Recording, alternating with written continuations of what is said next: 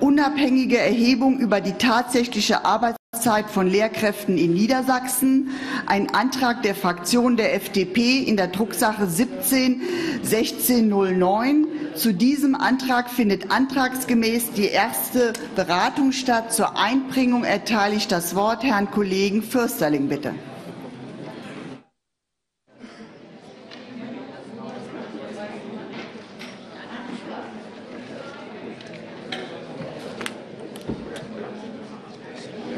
Frau Präsidentin, meine sehr geehrten Damen und Herren! In den letzten Wochen, Monaten wurde in Niedersachsen viel über die Arbeitszeit von Lehrkräften diskutiert.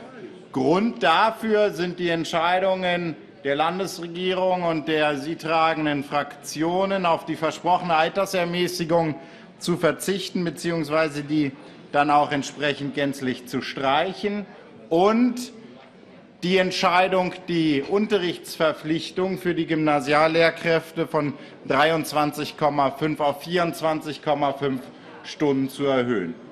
Es äh, wurde vielfach im Land bei Diskussionsveranstaltungen darüber diskutiert, wo der Unterschied zwischen Unterrichtsverpflichtung und Arbeitszeit tatsächlich besteht.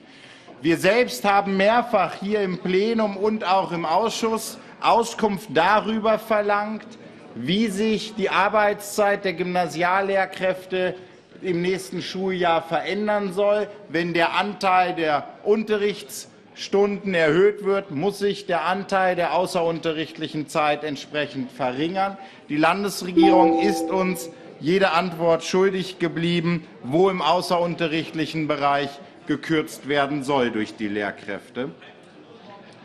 Und bei den Diskussionsveranstaltungen im Land gab es dann auch viele Kolleginnen und Kollegen von SPD und Grünen, die sich sehr einsichtig zeigten und die Einwände der betroffenen Lehrkräfte sehr ernst genommen haben auf diesen Podiumsdiskussionen.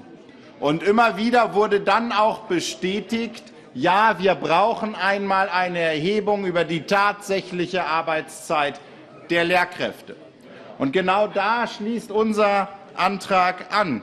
Wir wollen im nächsten Schuljahr diese neutrale, unabhängige Erhebung über die tatsächliche Arbeitszeit der Lehrkräfte. Damit wir nicht mehr darüber diskutieren, ist es tatsächlich so, dass die Gymnasiallehrkräfte in Niedersachsen weniger arbeiten als in anderen Bundesländern. Wie ist das mit Freistellungsstunden etc.? Wir wollen eine Basis für die künftige Diskussion, und zwar nicht nur im gymnasialen Bereich, sondern für alle Schulformen und auch für die Schulleitungen. Und ich denke, es ist äh, eigentlich an der Zeit, dass wir uns hier einmütig auch bereit erklären, diese Erhebung durchzuführen.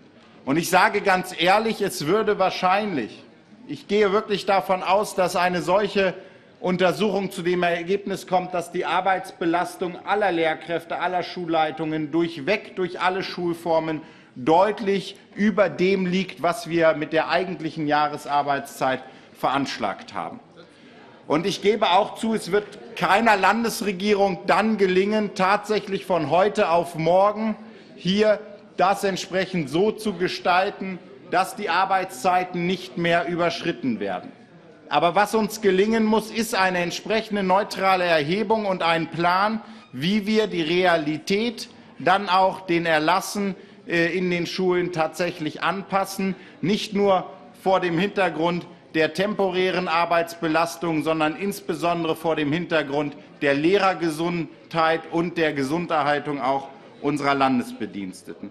Und deswegen gehe ich eigentlich davon aus, dass unser Antrag ein breites Votum dieses Hauses finden wird, weil nicht zuletzt auch auf einer Podiumsdiskussion in Frieseute vor vier Wochen ganz konkret vom Kollegen Janssen der Grünen und von der Kollegin Geuter von der SPD vor über 150 Lehrkräften zugesagt worden ist, dass man einer neutralen Erhebung über die tatsächliche Arbeitszeit, wissenschaftlich durchgeführt, von allen begleitet, zustimmen würde. Und ich habe noch auf der Podiumsdiskussion gesagt, das finde ich sehr gut, weil diese zwei werden dafür sorgen, dass wir für unseren Antrag dann auch eine Mehrheit haben. Und ich bin gespannt, ob Sie sich diesem Versprechen, was Sie den Lehrkräften gegeben haben, anschließen werden und wir dann tatsächlich für unseren Antrag eine Mehrheit finden werden.